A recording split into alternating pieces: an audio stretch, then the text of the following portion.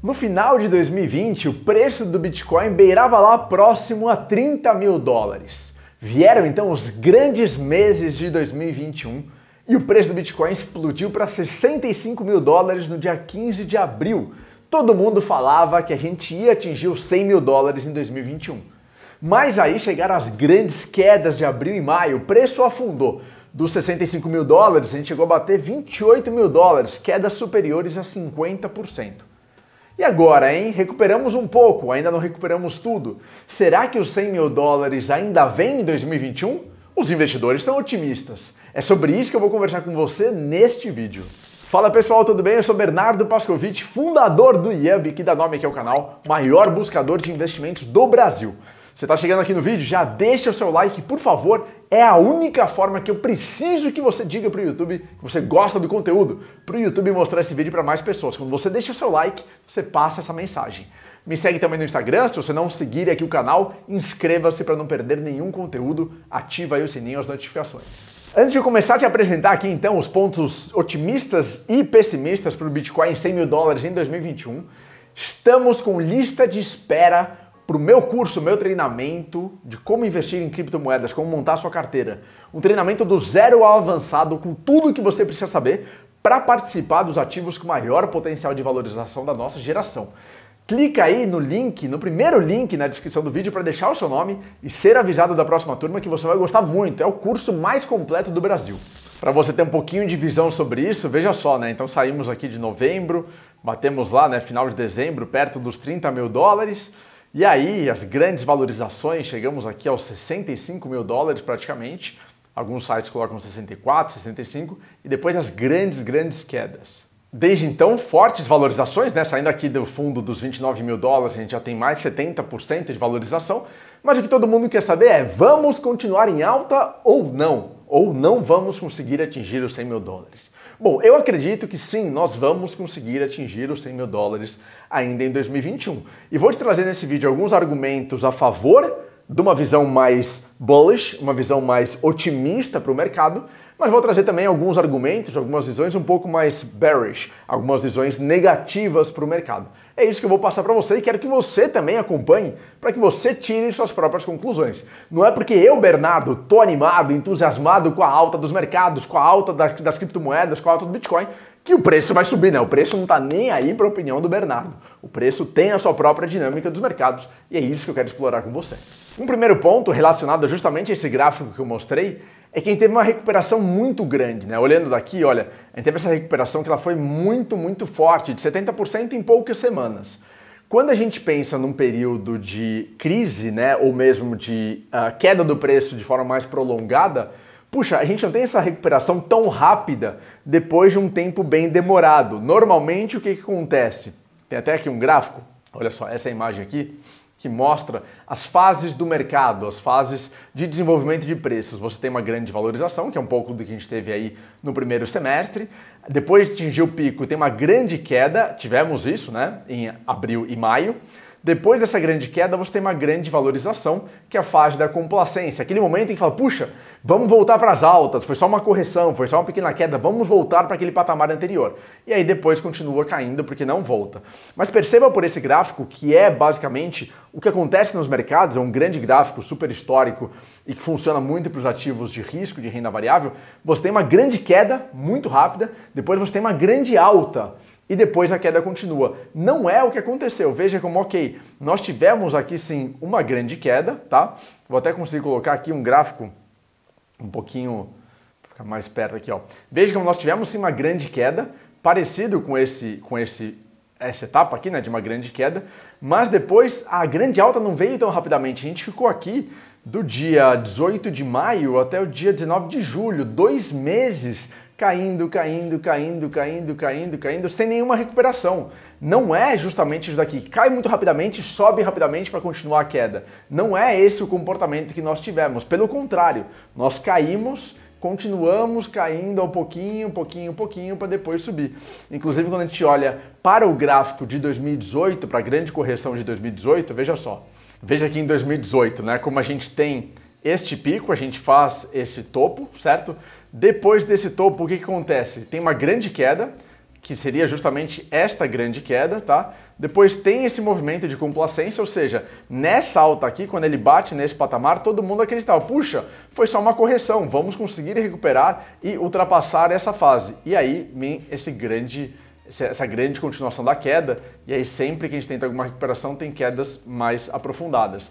Esse é o cenário justamente deste caso aqui. Você tem a grande queda, a complacência para continuar a queda. Então você tem aqui uma grande queda, complacência para continuar a queda. Não é o que vimos em 2021. Em 2021, voltando aqui, nós tivemos uma grande queda, não tivemos uma grande alta aqui de complacência, não, tivemos uma grande queda, continuamos por dois meses caindo. Então seria algo como se fizesse isso. Caísse aqui, aí continua caindo durante dois meses para ter uma recuperação. Isso não é a complacência típica de Wall Street e dos mercados de renda variável. Por isso que o primeiro ponto, eu acredito que o que estamos vivendo agora, essa grande recuperação, de alguma forma é uma força compradora muito forte para reverter a queda que tivemos anteriormente.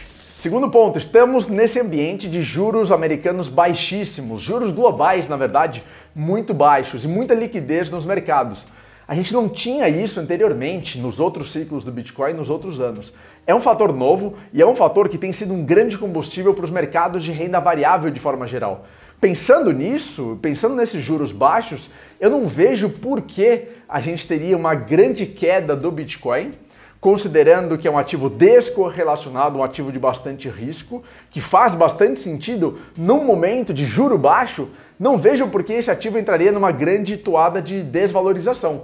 Vejo que esse ativo sim pode entrar num grande ciclo de correção e de bear market depois que iniciarmos a alta do juro americano e dos juros globais. Ainda não chegamos lá. De acordo com o Fed, Banco Central Americano, vamos chegar lá só no final de 2022 para 2023. Não sei se a alta do Bitcoin vai durar até final de 2022, mas pelo menos até final de 2021 com os 100 mil dólares, na minha visão, deveria acontecer. E a gente está no caminho para que isso aconteça. É um fator muito importante esse de liquidez dos mercados e juros baixos. Outro fator importante, número 3, aqueles grandes mineradores que foram expulsos da China em abril eles conseguiram se recolocar no mercado, eles conseguiram mudar para outras regiões, reativar as suas minerações, né, os seus computadores mineradores e conseguiram voltar a se conectar à rede. A gente consegue ver isso pelo hash rate, que é basicamente a taxa de processamento de transações na rede, no blockchain do Bitcoin. Quer ver só? Dá uma olhada nesse gráfico aqui. Veja nesse gráfico, então, como nós tivemos aqui, né? Eh, em maio, essa, essa grande alta né, do, do, hash rate, na verdade teve uma grande queda aqui justamente em 15 de abril, que tinha sido recorde histórico, foi dia 17 na verdade, caiu fortemente, se recuperou, e aí com os problemas da China, olha, a, taxa caiu muito, muito mesmo. Depois, isso tem se recuperado, a gente já está conseguindo voltar, a princípio, para os patamares anteriores às grandes quedas. Ou seja, a, a, rede de mineração e a rede de validação, os mineradores conseguiram se recolocar e conseguiram ativar novamente o hash rate. Isso é fundamental. Deixamos para trás esse risco, esse medo de que a taxa de processamento caísse para níveis praticamente impraticáveis que contaminassem toda a rede. Isso foi superado. Um outro ponto importante, número 4, é que os indicadores estão saudáveis. Eu separei dois especialmente para vocês aqui da Glassnode, que é a principal provedora de dados de cripto do mundo, tá? Dois pontos importantes que eu selecionei. Primeiro, este gráfico aqui. O que, esse gráfico mostra? Ele mostra a quantidade de Bitcoin nas exchanges. Quando o Bitcoin ele tem bastante nas corretoras, nas exchanges, significa que as pessoas estão querendo vender. Porque quando elas não querem vender, querem armazenar, tiram das corretoras e deixam nas suas carteiras privadas, né? Então veja que no momento em que o Bitcoin nas exchanges cai fortemente, é o momento que o preço está subindo fortemente, tá vendo? O amarelo é o Bitcoin nas exchanges caindo, aqui em preto é o preço subindo cada vez mais.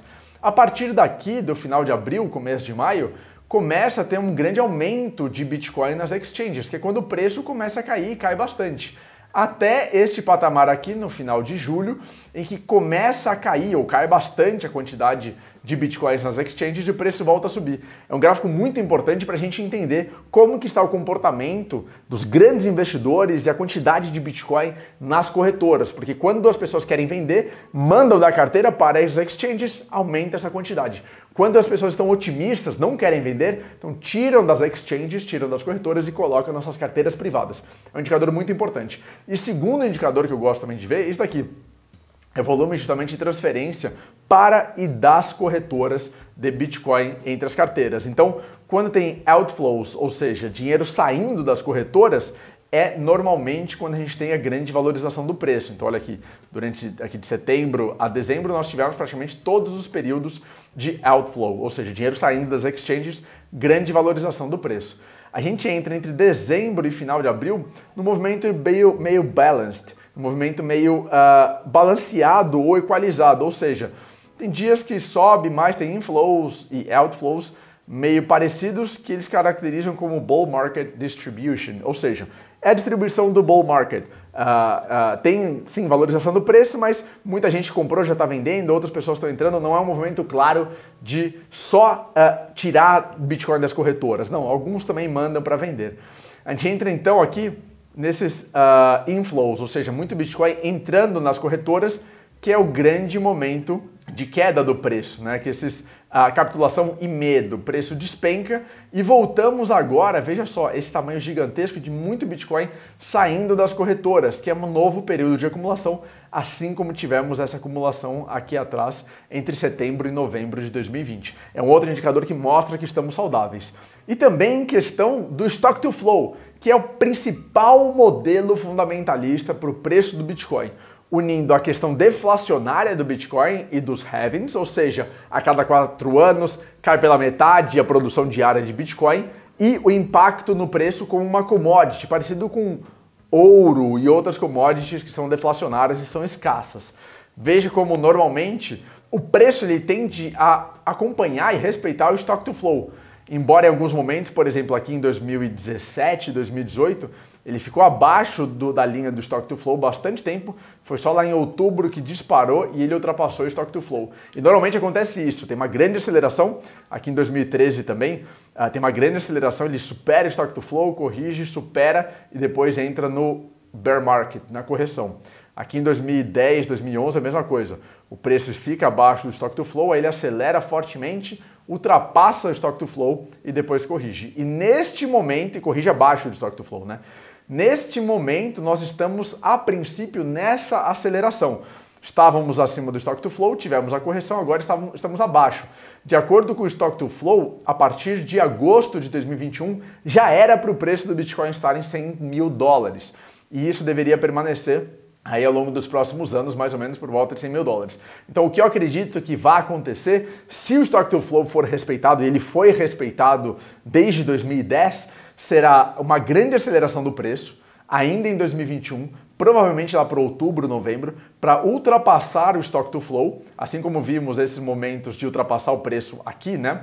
Uh, no final de 2017, começo de 2018, aqui no final de 2013, começo de 2014, aqui em 2011, então ultrapassa o stock to flow, deveria agora também ultrapassar o stock to flow, eventualmente batendo aí 150, 200 mil dólares e depois corrigindo no stock to flow nos 100 mil dólares. Então sim, acredito que seguindo o stock to flow, vamos atingir os 100 mil dólares ainda em 2021, se não ultrapassá-lo, a gente deveria ultrapassá-lo, bater 150, 200 mil dólares para corrigir e acompanhar o movimento dos últimos ciclos do Bitcoin.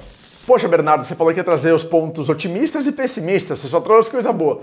Pois é, porque eu acredito que a gente tem muito mais argumento a favor do otimismo e da valorização do que da desvalorização. Mas vamos lá. Um ponto importante, como eu falei, é essa questão da complacência. Embora o gráfico atual do Bitcoin não esteja dentro desse, dessa dinâmica né, de grande euforia, para depois a complacência, é possível sim que a gente acabe, eh, de alguma forma, tendo passado pela euforia, embora esteja muito estranha essa euforia, né, mas tenha passado eventualmente por essa euforia, caracterizada justamente por esses momentos aqui, um pouco mais, né? Então aqui teria sido a grande euforia, e agora estaríamos na complacência para continuar em queda de acordo com este gráfico de Wall Street. Então um ponto Uh, importante é, talvez sim estejamos na complacência. Como vamos saber? Vamos saber se nós conseguirmos ultrapassar o recorde histórico de 2021 dos 65 mil dólares. Ultrapassando os 65 mil dólares, deixamos essa possibilidade de complacência para trás. Estamos rumo ao descobrimento do preço, rumo aos 100 mil dólares. Esse é o primeiro ponto muito importante. Segundo ponto importante é que a gente tem visto o volume de compras do Bitcoin não muito alto, não é um volume que está tão alto quanto no primeiro semestre de 2021, quando a gente estava num grande otimismo. Para a gente ter uma grande valorização para os 100 mil dólares, a gente precisa ver o volume aumentando nas criptomoedas e no Bitcoin especialmente. A gente não está vendo isso. a gente está vendo o volume diminuir ao longo das últimas semanas, o que não é bom. Pode de alguma forma indicar que estamos nesse movimento de complacência, poucas pessoas querendo comprar, não muita força compradora, uma nova queda grande, e aí seria esta grande queda aqui uh, após a complacência. Esse é um outro ponto de risco que eu tenho no radar.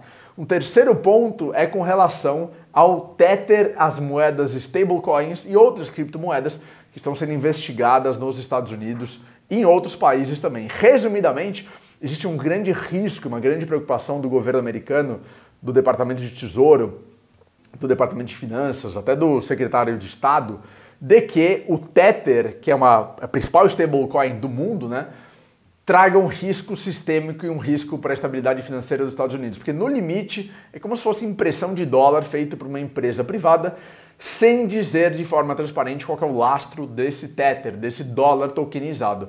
Quando a gente olha para o grande crescimento do Tether em 2021, foi uma impressora gigantesca e muitos dizem que essa impressora do Tether ajudou a fomentar o preço do Bitcoin, ajudou a levar o preço do Bitcoin lá para cima. De forma geral, houve muita impressão de Tether, de dólar tokenizado, ao mesmo tempo que o preço do Bitcoin subia absurdamente. Muitos começaram a fazer uma correlação entre os dois. Quanto mais dólar tokenizado está sendo impresso e colocado nos mercados, mais o preço do Bitcoin sobe. Só que essa impressão de Tether ela parou um pouco, porque o Tether está sendo muito investigado pelas autoridades, preocupadas com esse risco, falta de lastro, segurança, etc. E aí, sem impressão de Tether, existe algum argumento de que o Bitcoin não vai ter força para continuar em grande valorização. Perceba que o fundamento do Bitcoin não tem nada a ver com o Tether, tá? O Bitcoin ele é totalmente independente, ele não depende do Tether. Mas há uma especulação de que a grande valorização do Bitcoin em 2021 foi permitida e impulsionada também pelo Tether. Esse é um fato fundamental para a gente ter no radar. Talvez sem o Tether ou com uma redução dessa impressão, por conta das regulações, a gente tenha menos força compradora no Bitcoin e não faça o preço subir aí para os 100 mil dólares, 150 mil dólares. Agora vamos lá, bolão nos comentários. Se você acha que o Bitcoin vai bater 100 mil dólares em 2021, bota aí hashtag 100k em 2021. Se você acha que não vai bater, bota aí hashtag 100k só em 2022. Quero saber qual é a sua opinião. E no primeiro link na descrição do vídeo, você encontra a página do Yub de turma de espera, lista de espera para a próxima turma do meu treinamento de criptomoedas. Do zero ao avançado, tudo o que você precisa saber para investir nesse mercado e participar das maiores valorizações da nossa geração. Clica aí agora, se cadastre de graça para ser avisado da abertura da próxima turma que você vai gostar muito. É o curso mais completo hoje no Brasil. Por favor, também deixa o like no vídeo que eu te pedi no começo. É muito importante para a gente mandar e fazer com que o YouTube mostre esse vídeo para mais pessoas. Se inscreve no canal, ativa as notificações e a gente se vê no próximo vídeo. Muito obrigado, um abraço. Tchau. Está aparecendo aqui ao lado um vídeo que eu fiz sobre os primeiros passos para você investir em criptomoedas. Tenho certeza que você vai gostar. Clica para assistir agora.